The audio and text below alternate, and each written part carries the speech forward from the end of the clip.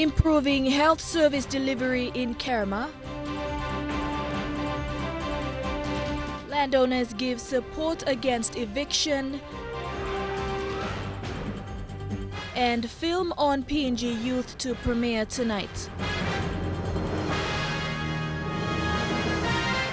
This is National MTV News with Helen Sayer.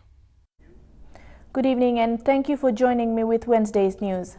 Health services in Gulf are expected to improve following the opening of new facilities yesterday by Prime Minister Peter O'Neill.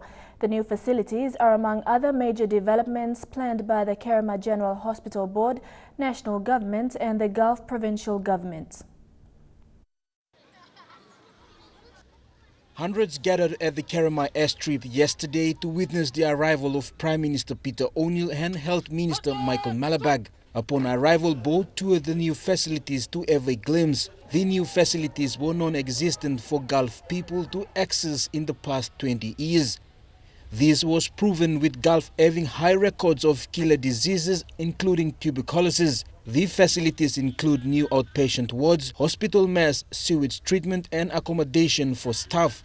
So we are looking things a little bit different and we hope we can, uh, we can achieve uh, results in, uh, in the near future. Speaking to locals, Prime Minister Peter O'Neill said for Gulf, the tuberculosis endemic has pushed the government to improve health standards and types of services people can easily access. Of course, money is there. Money's been made available. It's been transferred to all the departments. It needs to be spent and spent properly for the things that we want. I know you're working under very difficult conditions but we are trying to make life easier. We are going to get there. With other developments to follow soon, Minister responsible Michael Malabag called on the hospital board to work with the national health plan so funding can be sourced easily.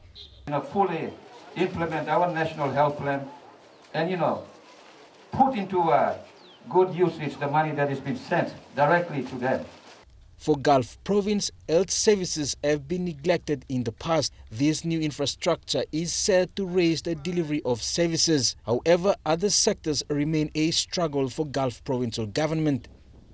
Do not have good accommodations, not good housing, so that they can be very productive in giving back to the people in Gulf Province in service delivery. Despite opening these facilities, another housing complex is under construction to trigger the recruitment of health workers. Jack Lepava Jr. National EMTV News. In a separate event yesterday, Prime Minister Peter O'Neill and Health Minister Michael Malabag witnessed the swearing-in of members of the Kerema Hospital Board. The nine board members were officiated by Kerema Court Clerk Mrs. Alofa Miria.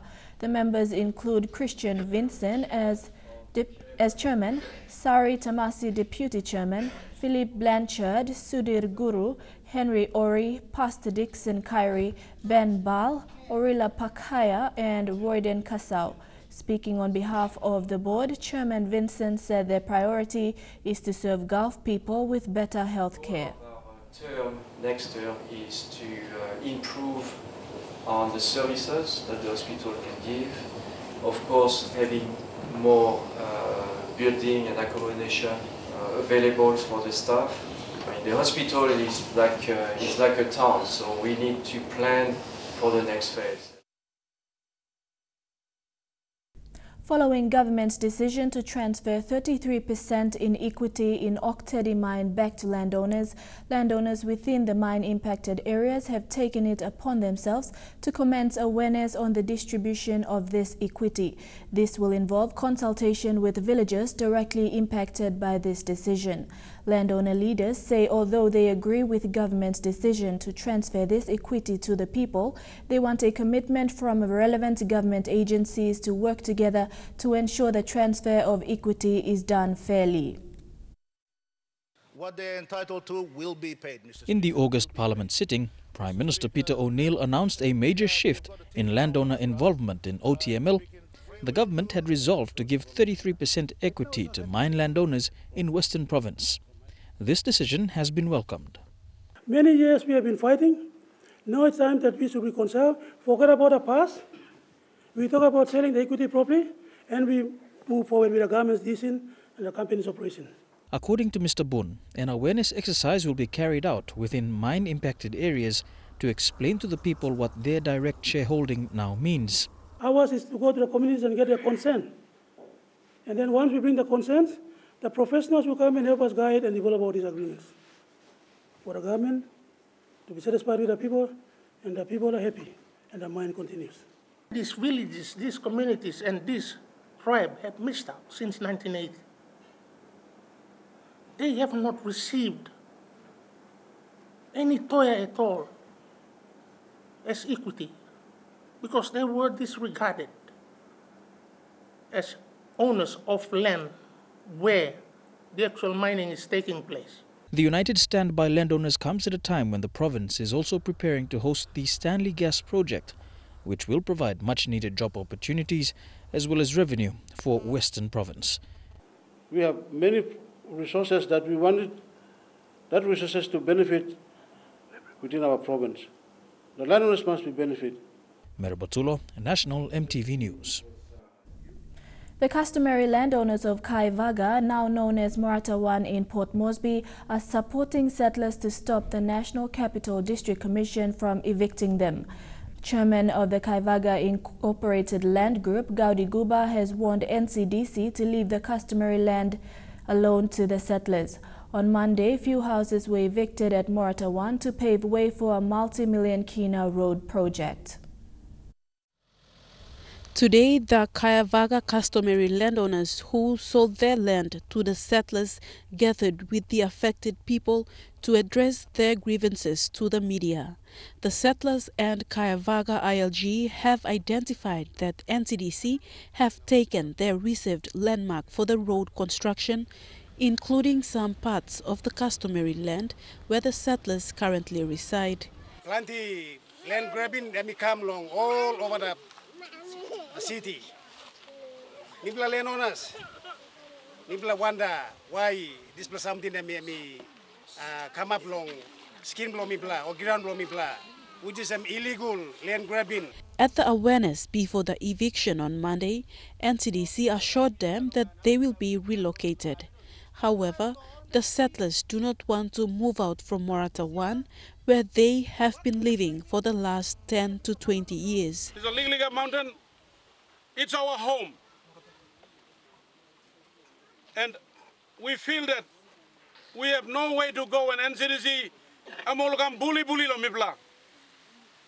Ogre system block court mibla time. But still police come yet. Police come yet. All come lo way mibla na sawe. Mibla go long NCDC and uh, Central Police Commissioner and give me la pass. Still all these policemen come today, I say now, all still come away. The Port Moresby Local Land Court has issued a court order restraining any eviction exercises to be carried out pending the hearing of the substantive matter in court. However, on Monday, they were forced to leave their homes. Grassroots Foundation, a non-government organization which helps youths, women and children to alleviate poverty, presented a 2,000 kina check to the settlers this afternoon. The money will help them to fight the matter in court. I'm a grassroots man. I come from the Nanmal settlement. My eight children has grown up in settlements. Meanwhile, NCD Governor Powes Parkop will visit the settlers tomorrow to arrange for the resettlement. Vasinata Yama, National MTV News. A film about PNG youth in Port Moresby will start showing in cinemas tonight. Written and directed by a Canadian, the film has the universal theme of the boy meets girl storyline, but with a PNG context. Shot in Port Moresby, the making of the film itself brings to light the challenges and the immense potential of making a film about urban PNG. You is the story of a poor boy meets rich girl in Port Moresby. From script to screening, it took nearly four years to complete, and Christopher Anderson, the brains behind the film, was fortunate enough to make it back to PNG for the premiere. It's a tremendous relief to have finished it at all. I, I really wasn't sure at all if we were ever going to be able to finish it. Uh, it took uh, an awful lot of effort, and uh, and particularly on the part of the cast and crew, uh, to bring all this together was just a phenomenal effort. So uh, first first sensation is relief. Um, and uh, and second would be um, uh, a little. I'm a little nervous about how the how the uh, film's going to be received, but uh, but I'm feeling good. I'm excited. Anderson said one of the many challenges of shooting a feature film in Port Moresby is secure locations.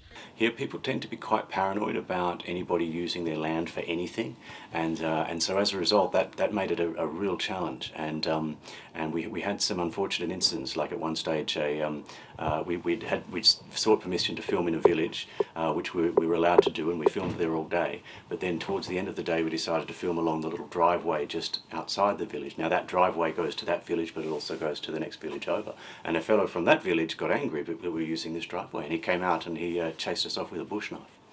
However, when it came to talents, he was more than happy with the people he ended up working with. I was extraordinarily lucky to be able to, to meet uh, uh, to meet and find these guys, and uh, and the, and the effort that they put in uh, to make this film happen was absolutely phenomenal. Tinzi Mao and Godfreyman Kaptigau are the lead actors in the film. I've always loved acting and uh, theater and everything to do with film and television. So when I heard about, you know, there's like an indie film being shot and like produced, I mean, not produced, but like made here, I thought, I definitely, I, will join, uh, I'll join it, even if like there's no pay or anything. I just want the experience, and because that was all I really wanted from this. But so I joined up, and it was, it was, it was amazing, just going through it. So I absolutely loved it. With the learning also comes the excitement that the film industry in PNG is picking up. In the future, we're going to have lots of filming thing going on because mm-hmm. it's the mm-hmm. first of its kind. People will see it and they'll be like, oh, okay, the start of something with um, more filming in PNG. Yeah. Yeah, definitely. You will premiere tonight at 8 p.m. at the Paradise Cinemas to a select audience and will be open for public viewing tomorrow night. Sarah Aupong, National MTV News. Welcome back. Kairuku-Hiri MP Peter Isoaimo has again raised concerns that the betelnut ban in Port Moresby has greatly affected his people who have depended on betelnut income for years. He said the National Capital District Commission has allocated an area at Gerehu for his people to sell betelnut, but bringing the nut into the city is difficult. Isoaimo has filed a Supreme Court reference on the betelnut ban for the court's clarification. Yesterday, chiefs and councillors from the Mekeo local level government met with their local MP Peter Isoaimo and discussed resolutions on the betelnut ban. Some wanted Bereina Station in Central Province to be their central location so that buyers can travel up to buy betelnut. Others wanted NCDC to give central people the right to freely enter Port Moresby to trade at a Motuan village. All their grievances were presented to MP Isoaimo. You know, the problem area here is that NCDC should really target uh, and enforce stricter laws and penalties on buai chewers uh, than sellers because really the sellers only want to make an end meet by selling the buai and, you know, uh, taking the money to buy their necessities and come back home. Mekeo people are the biggest growers of betel in Central Province and the NCD.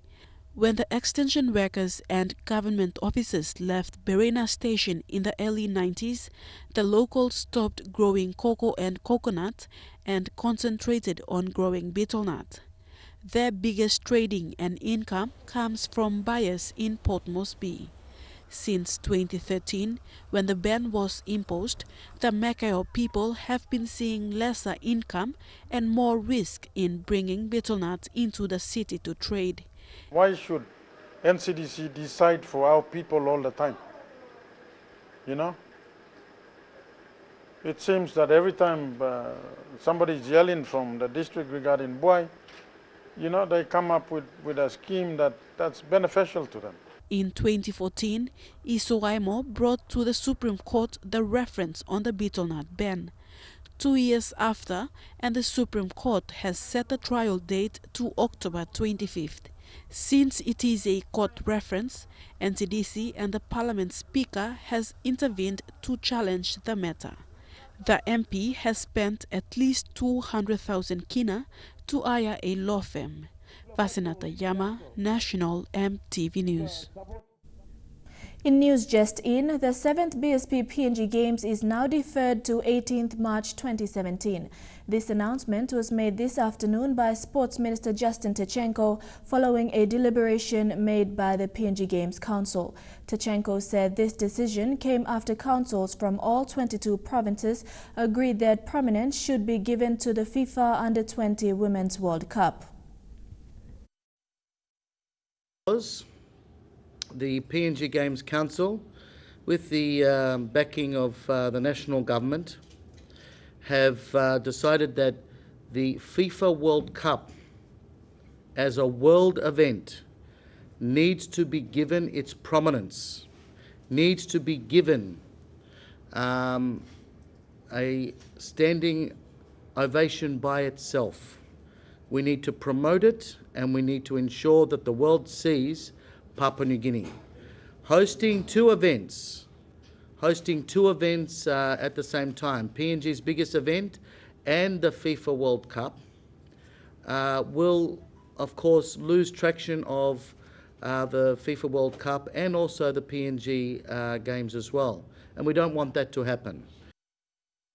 The Internal Revenue Commission has stepped out with vital community support. Staff of IRC donated personal items to assist the Family Support Center, which comes under the Port Moresby General Hospital.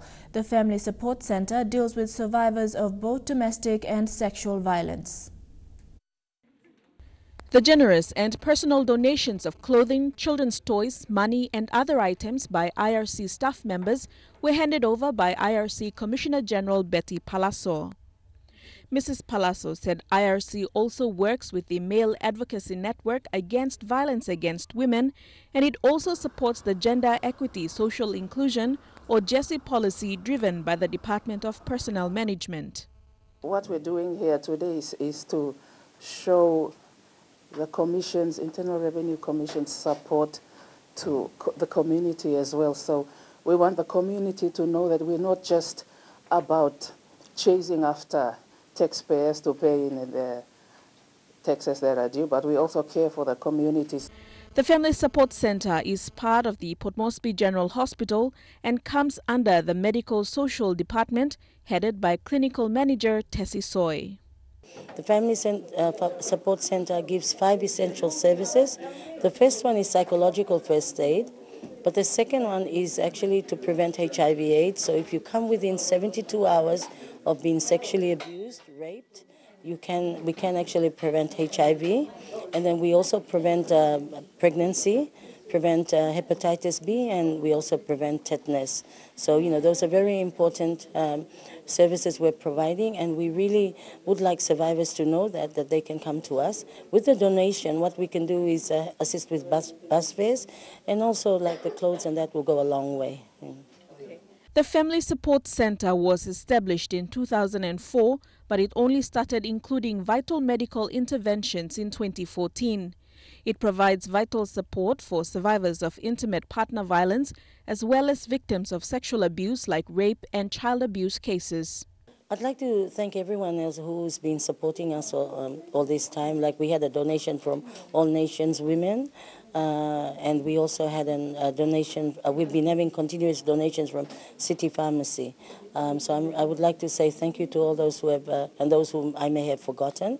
But, you know, to IRC and with the donation that we've got today, I'm really, you know, I'm really happy and elated that the government departments can do this because it, it's showing a sign that they're in the fight against, you know, uh, GBV, gender-based violence. Delhi Waigeno, National MTV News. The Autonomous Region of Bougainville is hosting the 8th NGI Regional Nurses Christian Fellowship. The fellowship, held under the theme Partnership with the Holy Spirit, Compassion the Cornerstone of Care, has united nurses from the New Guinea Islands provinces with the Autonomous Region of Bougainville. This morning, all the nurses marched to the Bel Isi Park with the message of how important nursing is in the medical sector. The nurses in Bougainville also paid homage to retired nurses who for the last time joined them in this important gathering. The upgrade of Yarawari High School to secondary status has been challenged by many factors. School principal Andrew Moava told MTV News, despite this, the school administration is on its toes to provide accurate guidance for its pioneer grade 12s. Principal Moava said delays in government TFF fees has been the major setback in building the school's infrastructure. The Yarawari School was established in 1982 as a convention institution. However, over the years, it is transformed to a high school. In 2014, plans to upgrade to secondary status was announced and the process was followed and executed. This year, Yarawari will witness the graduation of its pioneer grade 12s. However, school principal Andrew Moava says there is little to no support needed to see the transformation of the school's status. Funding is difficult. It's quite difficult because we are more reliant on the, the TFF and TFF is not coming good, and it consequently affect our operations here. Little intervention by political leaders, government funding and parent support has resulted in the construction of a eight classroom complex. However, more specialist buildings are needed for year 11 and 12 lessons. Our vision is to convert the school to become a multi-purpose educational institution where it would eventually provide uh, trade skills. That means uh, more specialized in agriculture, and uh, that's provided in TVET. In his fourth year as school principal of Yarawari, Mr. Moava says learning is the priority for the school administration. However, proper facilities must support this process. Obviously, when we prepare a child to meet the outside world, we must make sure that the attitude to work and learning is right and also they know they must know what is outside. And with the principle and the guidance we must prepare the kids well so that they can uh, make a wise decision. We will help them to make a wise decision. This school currently has 569 students with 33 teachers and is now a level 9 education institution the school administration is calling on the government, local MPs and any other interested organizations to help grow the school as a premier institution in the country. Jack Lapave Jr. National, MTV News. Telecom PNG has announced that its high-capacity network is now complete with all links carrying live traffic to offer a more efficient and reliable network for its retail and corporate customers. Resource companies operating within the LNG corridors together with remote and rural communities in the rugged terrains that rely heavily of satellite communications can now have access to this national transmission link. The first phase was made operational before the 2015 Pacific Games to carry all the free Wi-Fi traffic. In July, com co communication links in the highlands were migrated onto the HCN with positive feedback from telecom clients in the region. Priority now is the completing of the microwave link between Lae and Madang to complete the microwave ring. The government of the Federated States of Micronesia has formally approved the foreign air carrier permit to national flag carrier Air Niugini for flight services to commence on December. President of the Federated States of Micronesia, Peter Christian, described this agreement as a practical sign of how cooperation between the Pacific Islands Forum members works for the real benefit of member countries. President Christian says he will further discuss with Prime Minister Peter O'Neill during this week's forum meeting in Pohnpei. Air Niugini began its special services to the Federated States of Micronesia to Chuuk and Pohnpei last week. Air Niugini Board Chairman Sir Frederick Reiher led a delegation and met with the FSM government and Chamber of Commerce in Pohnpei. In that meeting, FSM President Peter Christian approved the foreign air carrier permit for Air Niugini to begin its twice weekly commercial air services in December. President Christian said the FSM government and the business community is fully supporting Air Niugini for this service to continue. The FSM government has chosen Air Niugini to provide regular services given that Port Moresby will be the Pacific's leading regional hub and with a lesser traveling time to other Pacific island nations. Sir Frederick said Air Niugini will work closely with the FSM government to ensure the new service is a success. Fabian Hakelitz, National MTV News. Meanwhile, Air Niugini Board Chairman Sir Frederick Reiher says the new routes under consideration include Shanghai, China, Jayapura, Indonesia, Townsville, North Queensland, Australia, Tarawa, Kiribati, and Majuro, Marshall Islands. This is a major expansion of Air Niugini's presence in the Asia-Pacific. And now looking at our finance news, the kina closed unchanged at 0.3155 US dollars in the interbank market. At Bank South Pacific, your kina was buying 0.3080 US dollars, 0.3981 Australian dollars, 0.2708 euro and 31.08 Japanese yen.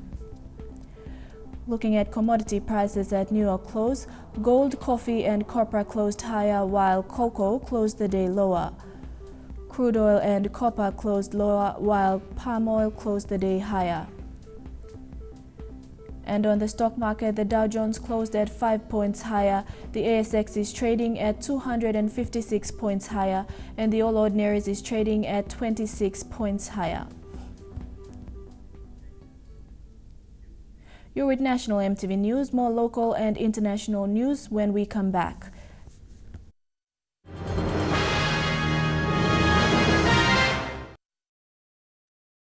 Welcome back to the news. Lae police have recaptured two suspects who were among 96 other escapees during the mass breakout from Buimo in February this year. The suspects are Samuel Ben, 17 of Morobe and Simbu parentage, and Richard Anton, 24 of Morobe and Central Province. Anton has been accused of several robberies, break and enter, and stealing over 75 horsepower outboard engine from the Huon Gulf District Administration. They have been arrested, charged, and locked up at Buimo Jail.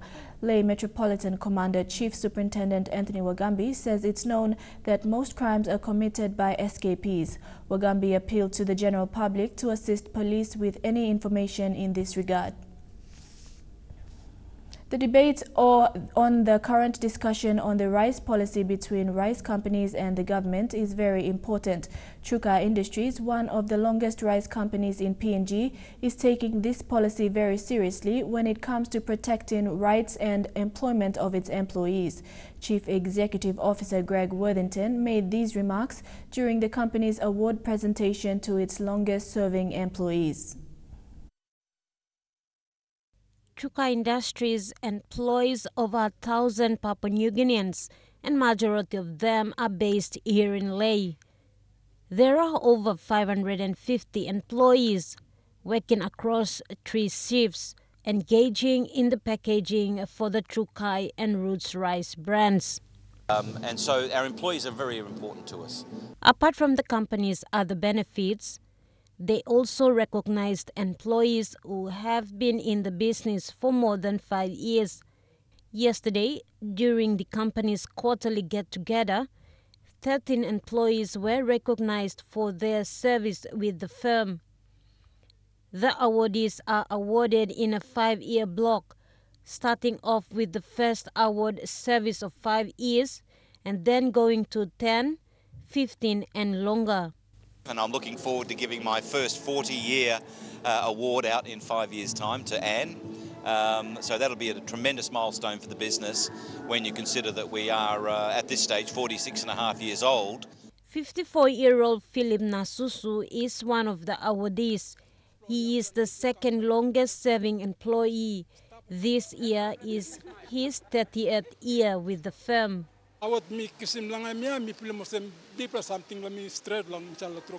Since the time he joined the company, he has seen the business grow from a small industry to PNG's main rice firm. He acknowledged the company for recognizing the time, commitment, and dedication he has given to the firm. Mataluis National EMTV News, Lae. The United States looked to highlight positive elements of the U.S.-Philippines relationship yesterday following comments made by newly elected Philippines President Rodrigo Duterte, which resulted in the U.S. calling off a bilateral meeting between the two nations.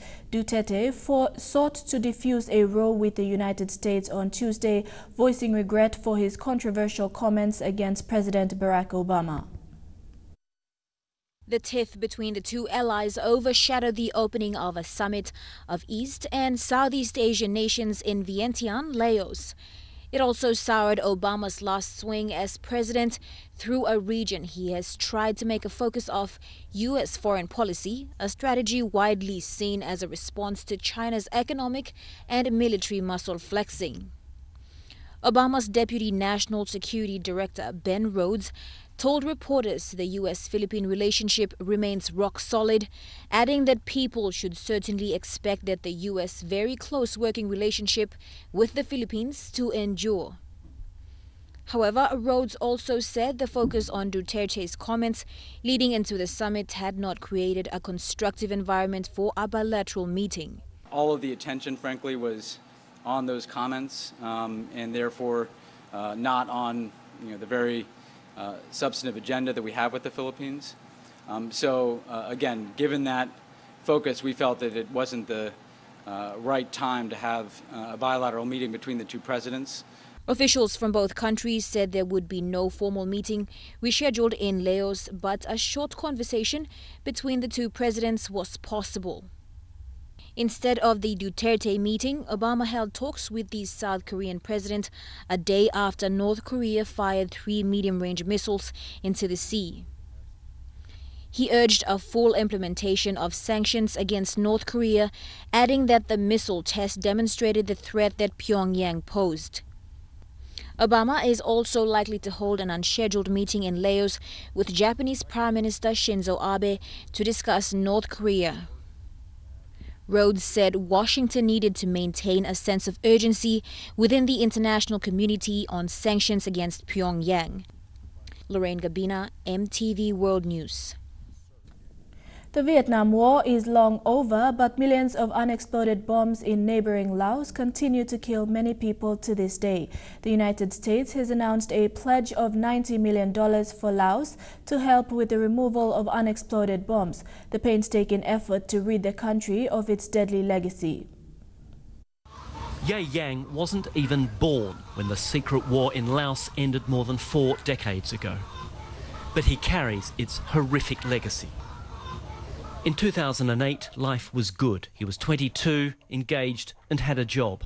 Until an undetected bomb tore it all apart, exploding as he was burning trash. I don't remember anything until I woke up in hospital two weeks later, he says. When I saw what had happened, I didn't want to live anymore. Ye is one of an estimated 20,000 victims, many of them children, who've been killed or maimed by unexploded ordnance since the end of the war. For nine years, until 1973, the US carpet bombed Laos, trying to stop a communist insurgency and smash North Vietnamese supply lines. It was known as the Secret War. No American boots on the ground, just American bombs. More than 2 million tonnes of them rained down. Per capita, more explosives were dropped here than on any other country in history. And they're still exploding today. This is a controlled detonation by the Mines Advisory Group, which works in Laos to clear the bombs, literally a few square yards at a time. Every patch of land has to be mapped and then swept. Once detected, they zero in on the object and uncover it. And this is what they usually find cluster munitions known locally as bombies. Up to 80 million of these failed to detonate, and just 1% of them have been cleared. How long, realistically, with the resources at the country's disposal, is it going to take to make this country safe? Currently, with the, with the resources, um, I'd, I'd say decades. Decades. Yeah. And that is one more explosive device taken out. But across these plains, across these valleys, and across these mountains, there are still tens of millions of threats remaining. Those threats are what worries Ye Yang more than anything else that his own children, born after the accident, could suffer the same fate that he did. Trukai Sports is next. We'll have football, taekwondo and rugby league. Stay tuned.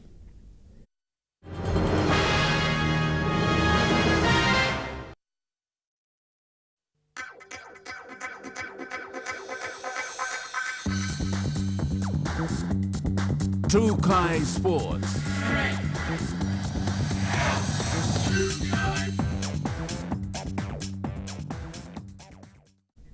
Welcome to Trukai Sports. Papua New Guinea's hopes of qualifying for the World Cup is now out of sight after going down to Vanuatu 3-1 on match day 2 in Port Vila late yesterday. Meanwhile, host Vanuatu and New Zealand have secured spots in the 2016 OFC Under-20 Championship semi-finals with both teams a game to spare each. Papua New Guinea and Vanuatu were desperate to keep their dream of qualifying for the FIFA Under-20 World Cup alive. Were goalless in the first half, but a red card to PNG's Kenneth Pilailo four minutes after the restart changed the nature of the match. Vanuatu's Ronaldo Wilkins stepped up to convert the resulting penalty.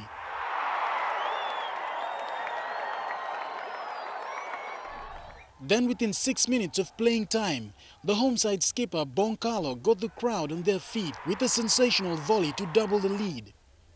Papua New Guinea with 10 men refused to lay down and with persistence and hope, Gebi Yanom bundled the ball over the line from a 77th minute corner. However, Jason Thomas crushed those hopes with Vanuatu's third in the 81st minute. That goal ultimately confirms a victory that sends the host side straight into the semi-final. And for PNG coach Peter Gunemba, there were mixed emotions after another close game that got away. We're quite happy. Uh, we are going out happy because of this, especially because of this performance. Like I said, we were gonna, we were confident that we were gonna beat Vanuatu. We watched them; they played very hard, uh, hard against Fiji, but we know how to uh, tackle them and win the game. But you know, we feel you know totally downhearted because we ourselves the cause of this game. So we have to we have to blame ourselves. In the other matches, defending champions Fiji gave themselves a chance of reaching the semi-finals with a 1-1 draw against previous group leader New Caledonia. In Group B matches, New Zealand defeated 10-man Tahiti 4-1 to book a semi-final berth and Solomon Islands eventually wore down a resilient Cook Islands to win 3-0. Group A will conclude on Saturday with Fiji facing on Papua New Guinea at noon and New Caledonia squaring off against Vanuatu at 3 p.m. local time. Shane Saroya, National EMTV Sports. The FIFA Under-20 Women's World Cup has received support from national flag carrier Air Niugini. General Manager Customers and Markets Dominic Calmo says Air Niugini will support with air travel discounts and other promotional activities. In a recent meeting with FIFA officials, Mr. Calmo said Air Niugini was honored to be associated with the renowned international football tournament. FIFA head of women's football Tatjana Haenni thanked Air Niugini's support will make a strong contribution to the success of the FIFA Under-20 Women's World Cup across Papua New Guinea. Taekwondo associations in Port Moresby approached EMTV Sports today to voice their concerns over the unfair selections for the Code of Taekwondo to represent NCD at the, at the PNG Games in Kimbe. They said they have wasted their time and effort with their athletes to train hard and prepare for the Games. Presidents of respective Taekwondo associations in Port Moresby spoke to EMTV Sports today, raising questions to find answers, hoping that by bringing their concerns to the media, they can help settle the problem to save any inconvenience for future events. Their complaint is based on what they described as unfair selections to select athletes for the Code of Taekwondo to represent NCD at this year's BSP PNG Games. Everybody obviously wished that we could run a selection and reselect the team however, we feel that you know uh, a precedent should be set. We should be out here, uh, say, you know, voicing our concern, and that this shouldn't be repeated again. Accompanying Mr. Kasman to EMTV was his fellow Taekwondo presidents who also spoke on behalf of their associations after they were questioned by their own athletes as to whether they were going to attend the games or not. The Jamu Gaston doing the selection, he didn't follow the process. He just went straight on and said, you, you, you in the team. Are they good in training, good in fighting? Do they have the mind mindset of the game? uh, I'm more concerned about my, my, my student uh, right to compete and be selected to uh, compete at the uh, uh, PNG Games. It's, it's really unfair. What I think is that why are clubs in NCD, I mean, why, why do we form clubs in NCD and train them for? Train them for games like this. It should be a fair, fair selection, uh, have a fair trial, and then whoever is selected will be able to represent uh, NCD. They said they are now left vulnerable with only two months to go before the games. It is unclear now what or how they can solve the problem. Godwin Eki, National EMTV Sports. And just a reminder, the PNG Games have been deferred to March of next year as, as announced by the Sports Minister. Last weekend saw the SP PNG Hunters bow out of the 2016 Intrust Super Cup season when they lost to the Sunshine Coast Falcons 18 points to 12. Following the disappointing loss, the Hunters now plan to take a break, reflect and prepare to come back better and stronger next season. The Hunters have always been consistent performers in the Intrust Super Cup in their three years in the competition. This season has been no exception, which saw the Hunters depart the competition in the first elimination finals of the 2016 season. Although disappointed by their loss, Butler Boris believes it has been a good season for the team all round and they can aim to improve next season. Um, that's rugby, you know, one team has to win and one has to lose, you know. We accept the fact that we lost the game and we're looking forward for a better better game next year to come and better better team and stronger team next year, yeah. It hasn't been the best season for the team with a number of key players struggling with injuries throughout the competition. Uh, for myself as an individual, uh, it was a really tough season for all of us and for me, like, um, uh, I had a lot of injuries uh, this year, so yeah. But all in all, it was a great season. I'm really proud of my the performance of the boys and the coaching staff. Uh, at least we came into the finals and we gave it all we but at the end of the day, you know, they were a better side, so so I'm proud of the boys and for myself too. The SP PNG Hunters this season have seen young stars emerge in the likes of Justin Olam, who has signed with the Melbourne Storm in his debut season, which sees the Hunters continue to provide the platform to expose raw talent that Papua New Guinea has to offer. Dion Kombeng, National EMTV Sports. More on the SP PNG Hunters after the break. Stay with us.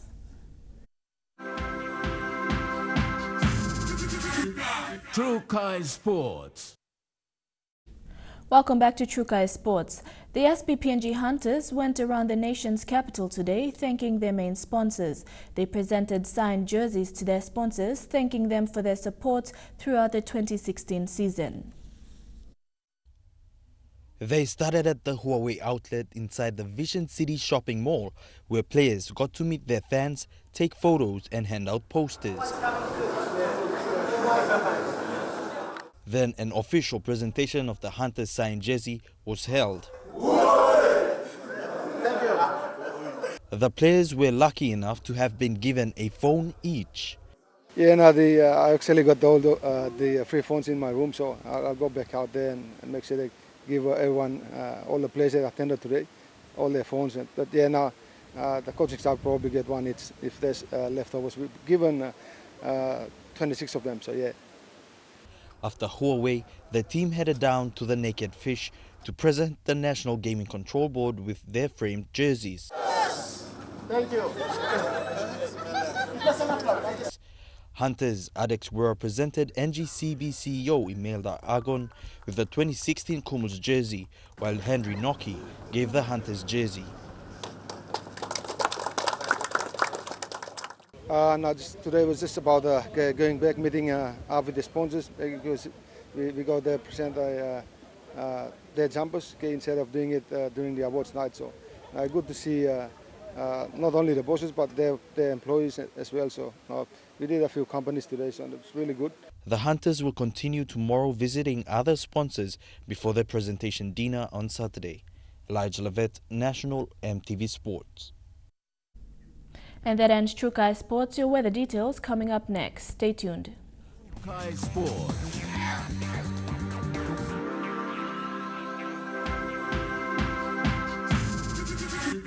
Trukai Sports.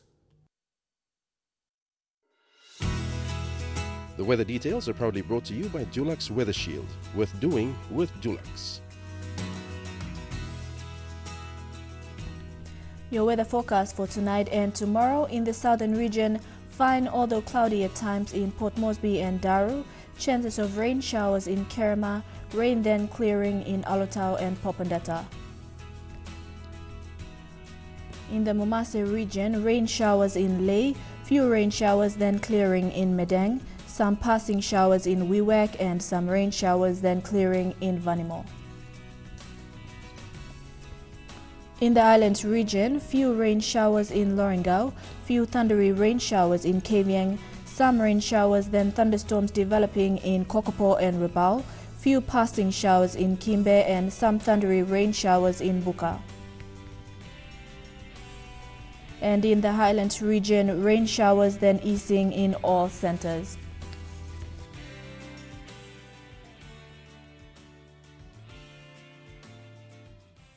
The weather details are proudly brought to you by Dulux Weather Shield. Worth doing with Dulux. Now recapping our main stories for tonight. Improving health service delivery in Kerema, landowners give support against eviction, and PNG Games deferred to March 2017. And that's been the news, sports and weather for tonight. On behalf of the entire news team, I'm Helen Sayre. Pleasant viewing. Good night.